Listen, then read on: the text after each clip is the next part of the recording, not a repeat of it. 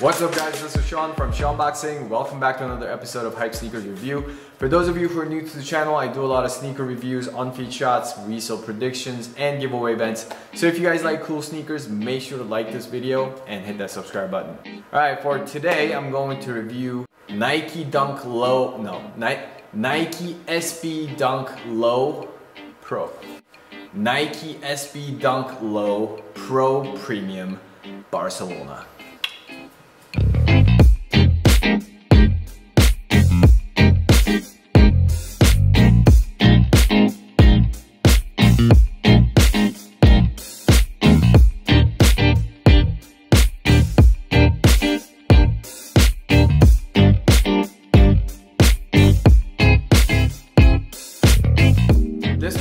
Honestly guys, I don't even know when the global release date is gonna be, but here in South Korea, they released it on July 17th.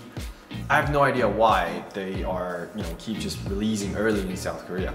If you're a big FC Barcelona fan, you're probably very excited to see your, uh, you know, your team's iconic colors on these shoes, maroon, navy, and gold. Nike is one of FC Barcelona's main sponsors, so you can see where the connection is coming from. But it's not common for Nike to represent a football team. You know, I can only remember the Boca Junior Dunks back in 2017 when it was released. But if you guys know any other football team that was represented by a Nike Dunk shoe, please let us know in the comment section below. All right, let's go have a look at the box. It's in a glossy purple Nike SB box and on the box it says Nike SB Dunk Low Pro P PRM, which probably stands for premium, navy slash university gold dash gym red. For your info, there's no reference to Barcelona on the box so far. I put the style code in the description so you guys can check that out. And I got these on July 23rd, 2021 with resale price of 232,000 Korean won, which is around 200 US dollars.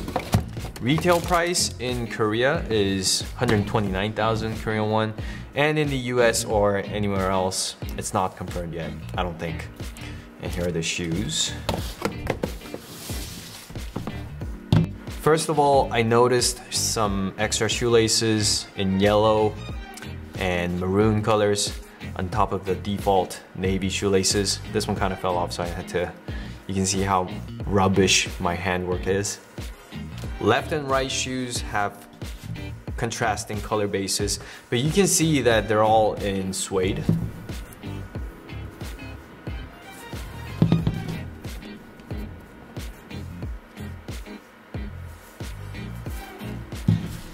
Left side starts with maroon toe, continues on with maroon tongue, and ends with maroon heel panel.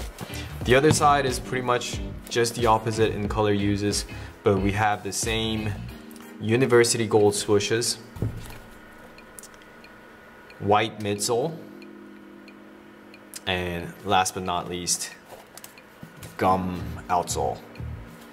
I also want to highlight that Zoom Air insoles are opposite in colors for both sides. So on the right we got the blue or navy and on the left we got the maroon. I don't know if you guys can see that well.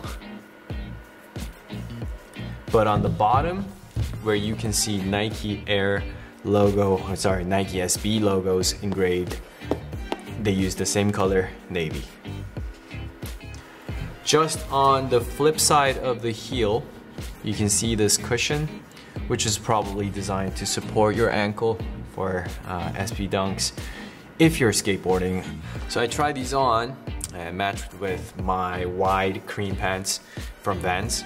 In terms of sizing, I believe it is true to size. Some dunks can feel a little spacious, but SB dunks usually have that thick cushioning inside, so I like to grab my true size.